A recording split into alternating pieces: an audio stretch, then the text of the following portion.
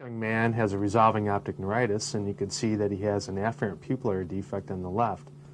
We're putting a small filter over the right eye to try and balance that defect. And you can see that when the light is shined in the left eye, there's still a dilation, indicating that there's not enough filter placed over the normal eye. Now, 0.6 log unit filter is placed over the right eye. And again, you can see that it's not quite large enough to balance this defect. I want to point out that in between each testing, what you need to do is to rebleach the amount of light entering both eyes, as I'm doing here, and that's to prevent any asymmetric bleaching of the eyes while the filter has been placed over it.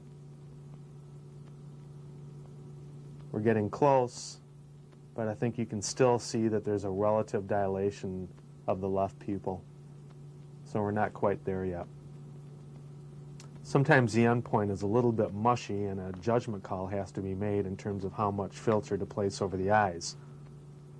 One good endpoint would be if you've placed too much filter over the eye and induced an afferent defect in the normal eye, then you know you've gone too far.